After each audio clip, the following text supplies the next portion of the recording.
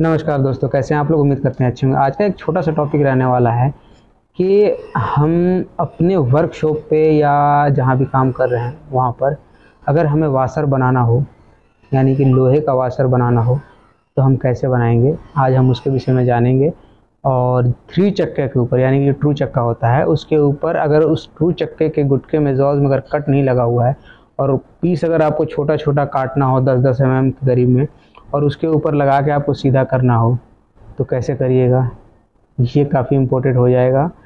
इस वीडियो के अंदर वो टॉपिक को मैं आपको बताऊँगा कि उसको क्या ऐसा जुगाड़ लगाना है जिससे उसका पिछला हिस्सा भी सही होगा, अगला हिस्सा भी सही होगा और जब चाहे चेक करिएगा तो बिल्कुल जो थिकनेस होगा वो सेम आएगा। तो उसके लिए हमें क्या लेना है? वाशर बनाने के लिए एक रॉड की ज़रूरत पड़ेगी। आइए इस रॉड को देखते हैं।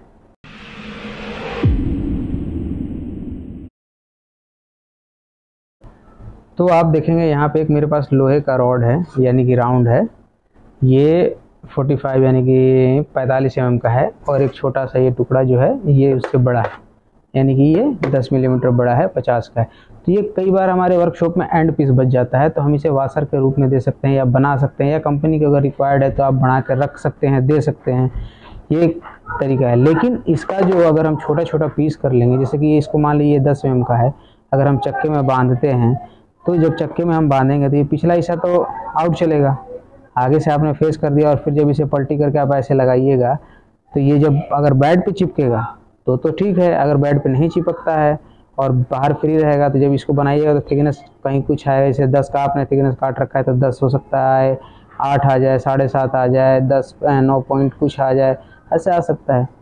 तो इसका भी सॉल्व करेंगे और आप काट के वाशर बना के भी दिखाएँगे और चेक करके भी आपको दिखाएँगे कैसा होता है। जैसे कैसा वाशर बनाऊँगा, मैं आपको दिखा दूँ, जैसे आप अपने स्क्रीन पे ऊपर देख पा रहे होंगे यहाँ पे साइड में कि आपको वाशर दिख रही होगी। ऐसे वाशर हम आपको आज बना के दिखाएँगे। तो आइए इसे पहले टर्निंग करके और कटिंग करेंगे।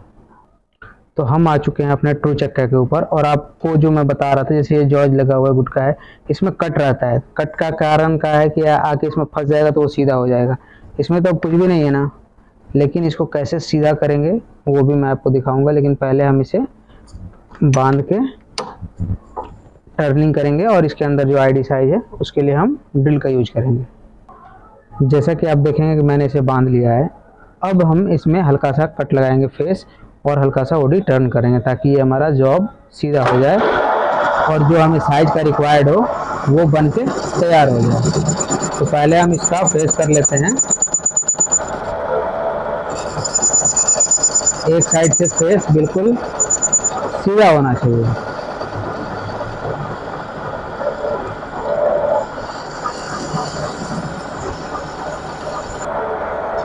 बॉडी में कोई मार्जिन नहीं है। पॉइंट टू का लाइट कट आप लगा सकते हैं। अगर आपके पास मार्जिन हो या आपका जो डाय का रिक्वायर्ड हो, आप वैसे डाय के ऊपर कट लगा सकते हैं। मुझे बहुत कम है इसके ऊपर। ओनली पॉइंट टू का ही मैं कट लगाऊँगा।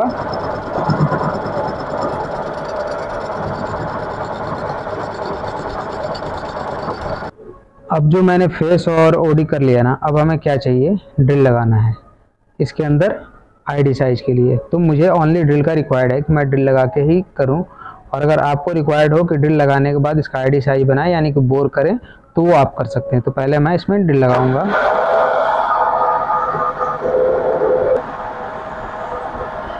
और कूलेंट का इस्तेमाल करते रहें ताकि आपका जो ड्रिल बेट है, वो सेफ़ रहेगा। और बहुत ही आसानी से इसमें ड्रिल लग जाए।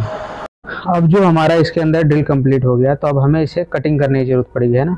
तो कटिंग करने के लिए आप पार्टिंग बीट भी यूज़ कर सकते हैं। अगर आपके पास पार्टिंग बीट है तो आप यूज़ करें। मेरे पास है, पर मेरे पास बैंड साब मशीन भी अवेलेबल है तो मैं बैंड से के ऊपर इसे कटिंग करूँगा, ताकि मेरा काम थोड़ा फास्ट हो पाए।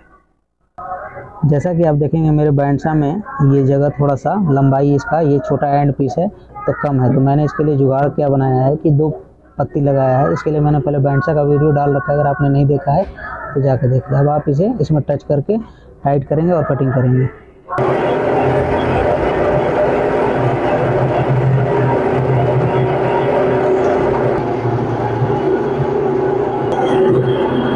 फाइनली अब ये हमारा जो पीस है, कट के तैयार है।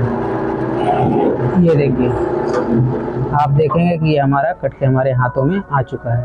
ठीक है? अब जैसा कि आप देखेंगे कि ये कटिंग हमारे हाथों में ठीक है? एक साइड मैंने फेस कर दिया है, दूसरी साइड ये कटिंग है, ठीक है ना? इसमें मैंने ड्रिल रिक्वायर्ड था, मैंने ड्रिल कर लिया, ठीक है?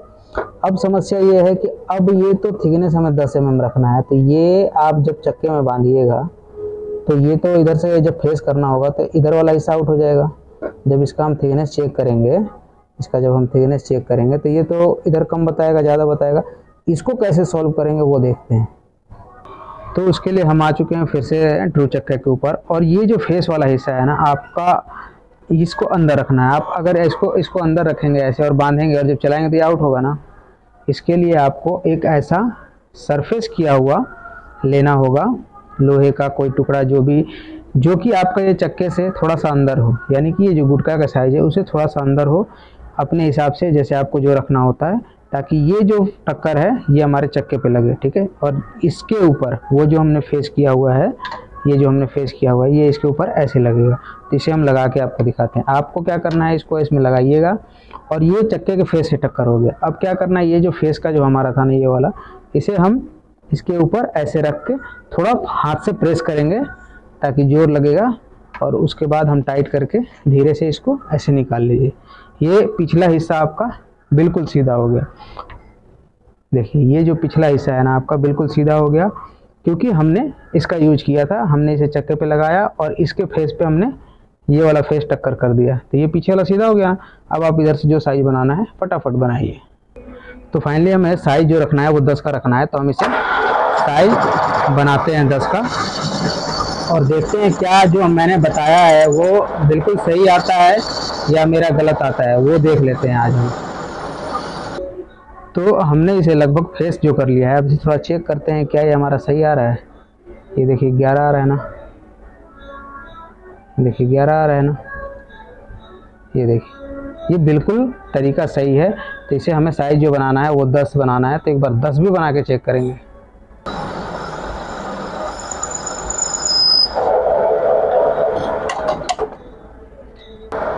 अब हमें इसके ऊपर थोड़ा चैम्पर लगाएँगे। और अब मशीन करते हैं बंद। और फिर हम इसका जो थिकनेस है, देखते हैं क्या मेरा जो 10 का रिक्वायर्ड था, वो पूरा हुआ है। यानी बिल्कुल आपके आँखों के सामने। ये देखिए। देखिए, दस पॉइंट एक करके आ रहा है ना? एकदम कड़ाम कड़ाम। आप देख सकते हैं, ये वाशर बनाने का तरीका है। थ्री चक्के पे, अगर आपके चक्के में कट नहीं है, गुटके में कट नहीं है तो आप ऐसे बना सकते हैं।